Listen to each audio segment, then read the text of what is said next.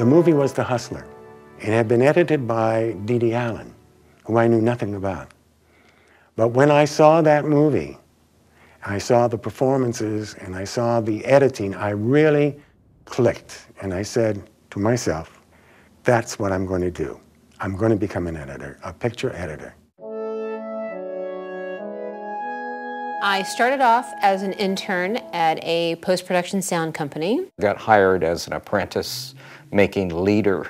Started way back in 1966. Working as like an apprentice sound editor for maybe $200 a week. And the cutting room that they gave us was in a broom closet.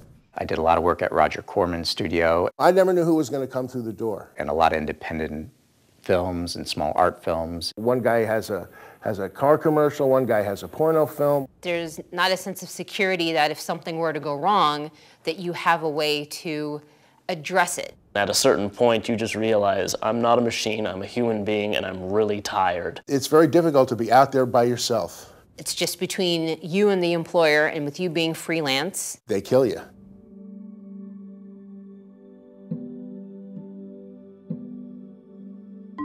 We started as a small group of editors who wanted something better. And that's what led to this growth of the Guild. We are the people who assemble and polish the world standard in motion pictures. It's always been the attitude of the board to embrace changes and not resist them.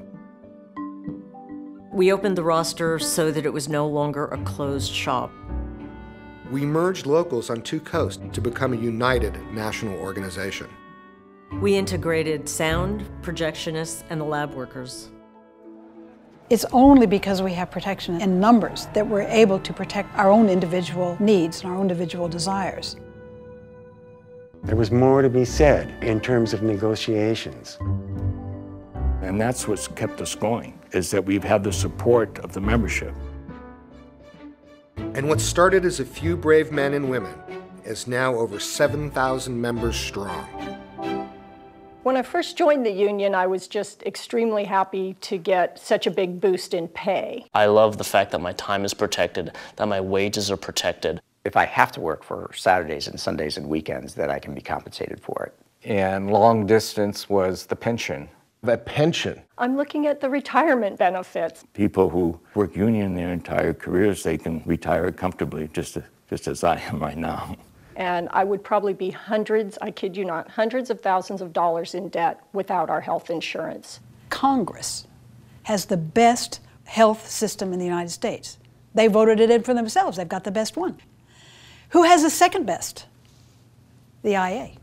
I entered the Guild when I was 19 years old, and being able to have health coverage so young and feel so independent lended itself to a great opportunity of not having to worry about those kinds of things. It's great to have the peace of mind that you know that you have that standing by if you ever need it. My name is Mary McCoy. I'm Dick's wife. He does have Alzheimer's.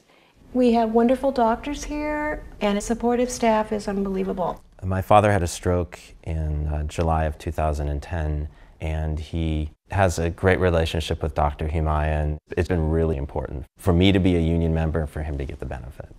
I think everyone should think about this. What would it be like if we didn't have it? We didn't have the guild, and um, I think they would it would wake them up very quickly.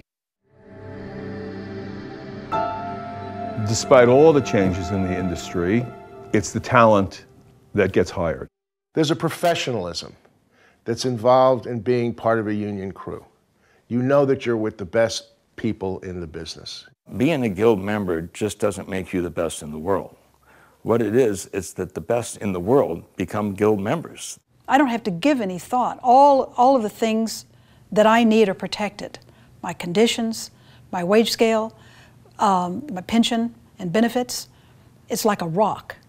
The Guild is like a rock. I don't have to think about it. It's absolutely there.